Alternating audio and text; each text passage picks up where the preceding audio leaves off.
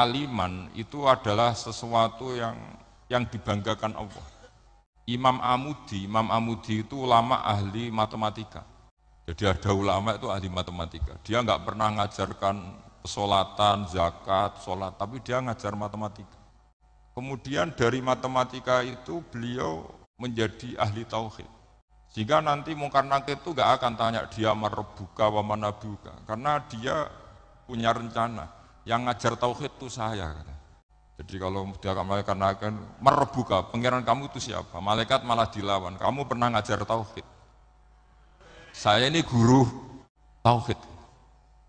Sehingga cerita saking keramatnya Imam Amudi kata Allah, ya Amudi presentasikan ilmu tauhid yang lewat jalur matematika ke semua malaikat saya. Semua malaikat saya tahu cara berpikir matematis. Karena malaikat itu tuh imannya itu iman mau hibah karena dia malaikat, ya iman karena tahu neraka, tahu surga, terus dia iman. Kalau kita ndak, kita iman tuh pakai logika, jadi lebih keren. Loh betul, malaikat itu ketika bangga ya Allah apa ada orang yang imannya di atas kita? Jawabnya Allah ada. Siapa? Ya orang-orang kudus gitu. Kira-kira gitu. Kenapa? Ya betul. Karena kamu iman saya itu wajar, kamu tahu saya. Tapi mereka nggak tahu saya tapi iman. Kenapa bisa iman ya Allah? Karena mereka punya logika, punya akal. Akhirnya Imam Amudi disuruh sama Allah presentasikan logika tauhid kamu lewat jalur matematika.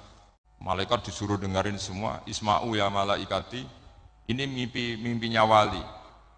Terus Imam Amudi mulai mengajarkan nisbatul isnaini ilal wahid wa nisbatus salah sawal arba'ah ila mala nihayatalah binisbatin wahidah yaitu far'un minal asli wa wa al wahid. Bo angka sebanyak apa pun 2, 3, 4 sampai 1 miliar itu nisbatnya ke angka satu adalah nisbatul far'i ilal asli. Semuanya berasal dari satu. Maka hadhil awalim atau hadal alam ila mala tetap semuanya ini cabang dari satu, yaitu wujud dari satu, yaitu Allah Subhanahu wa taala. Akhirnya malaikat itu mantuk-mantuk.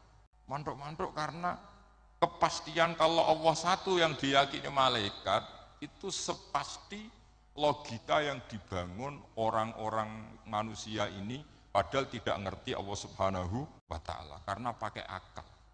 Jadi ilmu itu lebih keren kita.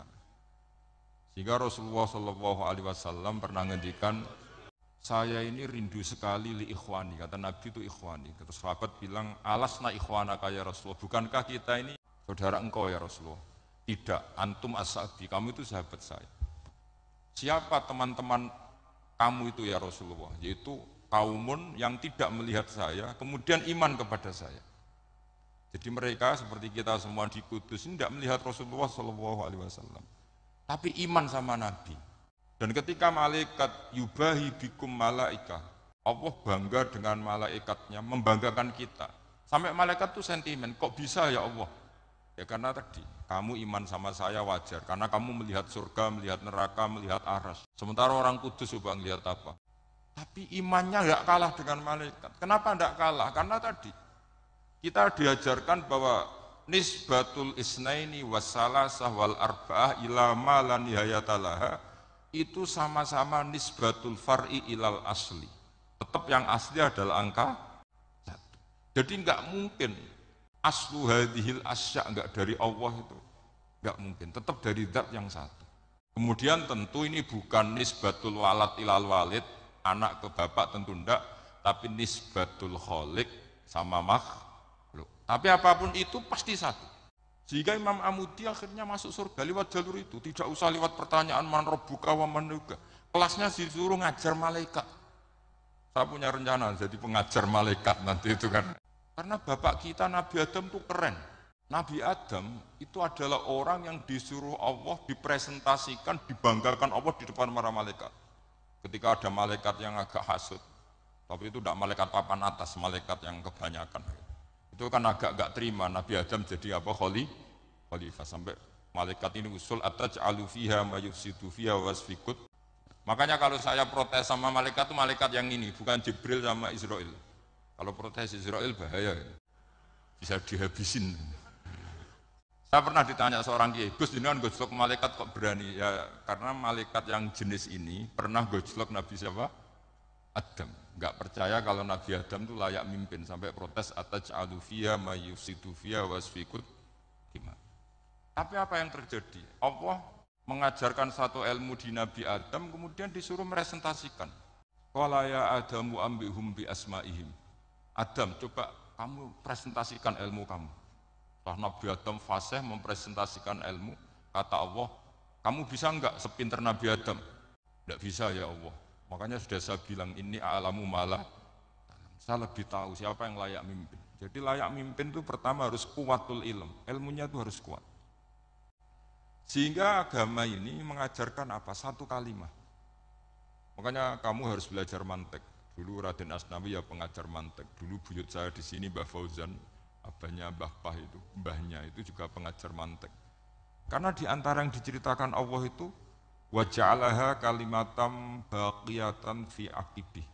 Tugas utama Nabi Ibrahim adalah menjadikan satu logika, kalimah itu logika, itu menjadi logika yang abadi, baqiyah itu abadi.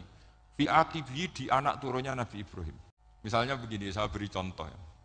Misalnya saya mengatakan teh ini hitam, itu menjadi kalimah. Kalimah karena diucapkan. Tapi tidak menunjuk hakikat karena tehnya berwarna apa? Kuning. Sehingga Quran kalau menyalahkan orang kafir itu ngendikannya kaburas kalimatan takhruju min afahihim. Omongannya orang kafir itu menjadi kalimat karena diucapkan dari mulutnya. Kenapa menjadi kalimat? Karena diucapkan tapi tidak menunjuk hakikat seperti orang mengatakan dua ditambah dua itu sepuluh. Itu kalimat, tapi kalimat yang salah. Karena tidak menunjuk hakikat. Seperti orang kafir mengatakan Tuhan itu tiga. Itu kalimat karena diucapkan, tapi tidak menunjuk hakikat. Tapi ketika seseorang mengatakan Allah itu Tuhan, Tuhan itu satu, itu disebut kalimatu hakin alaiha nahya alaiha namut.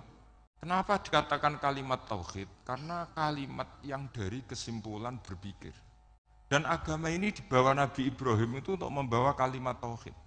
Ciri utama kalimat tadi, kamu yakin seyakin-yakinnya bahwa nisbatul snaini wassalasah wal arba'ah ila mala nihayatalaha itu kanisbati snain ilal wahid. Yaitu semuanya farun minal asli. Aslinya adalah wahid. Sehingga di kitab, saya pernah ngaji bahmu namanya kitab Al-Husunul Hamidiyah. Itu dikarang oleh ulama-ulama sekarang itu ada gambarnya di situ. Di situ ada gambar piramida, ada gambar hewan, ada gambar pohon. Kata kata yang ngarang, gambar sedetail ini, sejelimet ini dimulai dari nuktoh wahidah. Tetap dimulai dari satu titik. Dan ini disebut nuktotil wujud. Jadi buat orang kudus sebanyak ini tetap dimulai dari satu orang yaitu Adam. Adam dimulai dari ketiadaan. Lalu siapa al-mujid? Pewujudnya siapa? hanya Allah Subhanahu wa taala.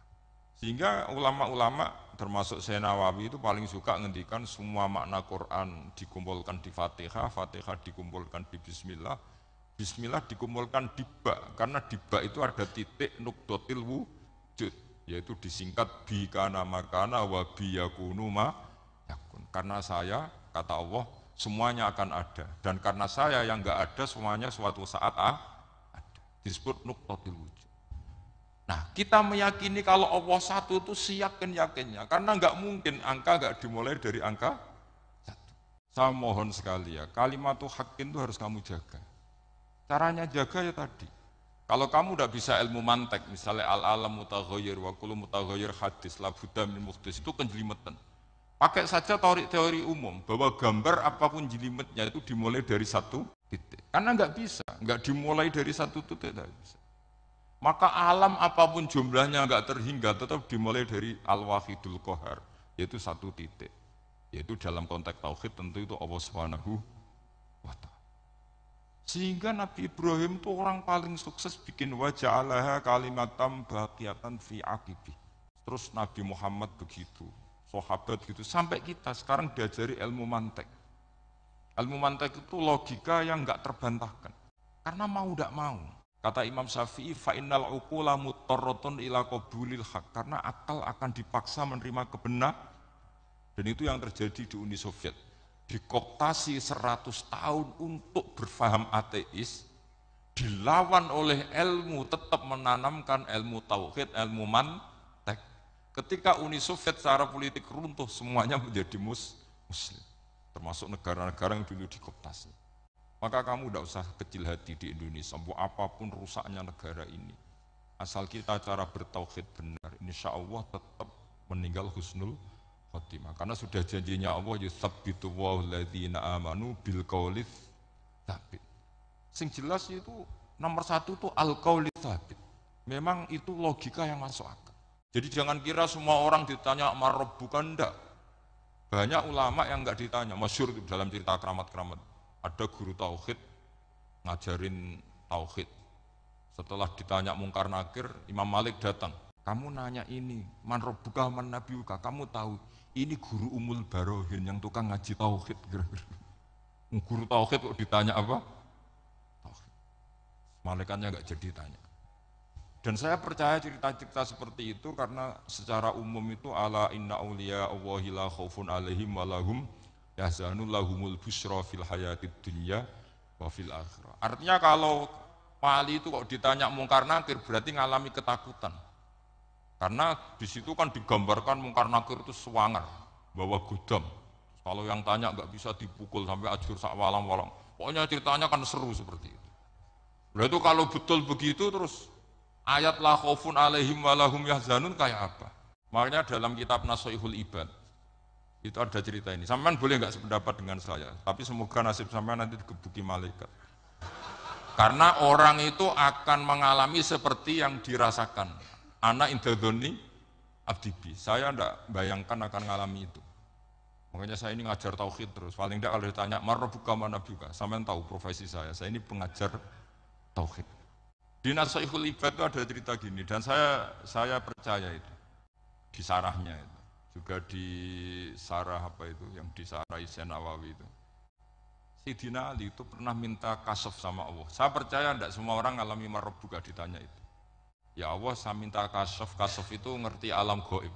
Ingin tahu Umar. Jadi diam-diam si Ali itu ya mangkal sama si Dina. Wong kok kerasi ngono. Angger wong kok tahu disentak. Jajal wani nyentak malaikat tora itu kata Sayyidina. Jadi dia minta kasaf karena kenangannya dia melihat Umar itu semua orang pernah disentak sama Sayyidina Umar itu. Maka Sayyidina Ali minta kasaf. Ya Allah saya ingin melihat Umar menghadapi mungkar nakir. Masih garangkah apa enggak? Itu dah itu, itu, itu minta kasaf. Pas kasaf beliau bangun dari kubur, duduk. Dilihat sama si Ali ini ngalami kasaf. Sama ndak usah tanya, ndak wali kok tanya. Ya sudah pokoknya percaya aja. Akhirnya malaikat mungkar nanti datang. Itu di situ digambarkan matanya itu kalkidril mughalla kayak apa itu panci yang dibakar. Wah, wow, seru. Semua nang Sayyidina Ali. Baru ini kamu akan takut. Tapi ternyata enggak, Umar bangkit disewentak orang tua itu. Kamu tahu menghadapi siapa? Yang sopan. Oh, sontak. Kuwaget malaikatnya itu karena enggak pernah ngalami disentak. Mungkin itu pertama. Kuwaget. Memangnya kamu siapa? Saya ini teman kekasih Tuhanmu. Saya tem yang diandalkan temannya sebenarnya bukan dia. Ana sohibu habibillah. Saya ini temannya kekasihnya jadi dia ngandalkan temannya sebetulnya, bukan ngandalkan dirinya. Oh kamu temannya Nabi Muhammad? Iya saya Umar temannya Nabi Muhammad. Kamu harus hormat sama temannya kekasih Allah. Wah terus semulai itu. Akhirnya matur Allah. Ya Allah, apakah prosedur seperti ini bisa dinego?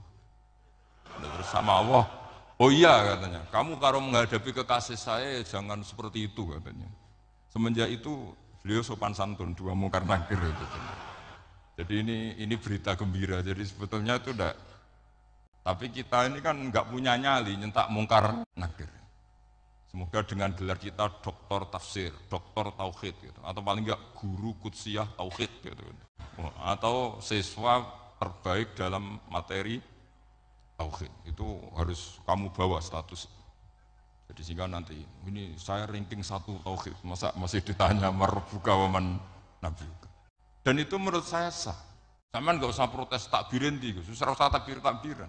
Pokoknya takbirnya adalah wali-wali itu la khaufun alaihim walahum Ya, mereka tidak akan mengalami ketakutan baik kehidupan dunia maupun kehidupan akhirat. Bahkan para malaikat itu mengatakan ke wali-wali, nahnu awliyaukum fil hayatid dunya wa fil akhirat. Kita ini teman kamu, saudara kamu, mitra kamu. Masa mitra kok nutui itu kan nggak fair. Dan menurut saya paling efektif itu apa? Kamu harus punya rumus tauhid kayak Imam Amudi menemukan Tuhan. Imam Amudi itu menemukan Allah itu lewat ilmu matematika. Dan itu Allah saking senengnya disuruh ngajari para malaikat. Waya malaikati isma'u. Kamu harus mendengar, ini orang alim saya. Yang ahli matematika. Tapi justru itu ngerti bahwa asal usul alam itu menal wahidil kohar. Dari zat yang satu. Akhirnya Imam Amudi mulai ngajar tuh. Nisbatus naini wasala sawal arba'ah ila mana nihayatalaha iku kabeh iku far'ul wahid. Akhirnya malaikat mantuk-mantuk. Nah, iman seperti itu itu akan setingkat keyakinannya dan keakurasiannya sama dengan imannya para malaikat. Makanya Nabi ngendikan tubaliman amanabi walam yaroni. Sebagian riwayat disebut sab amarot. Nabi ngendikan sampai tujuh kali benar-benar keren orang yang tidak melihat saya kemudian iman kepada apa yang bisa menemukan itu hanya A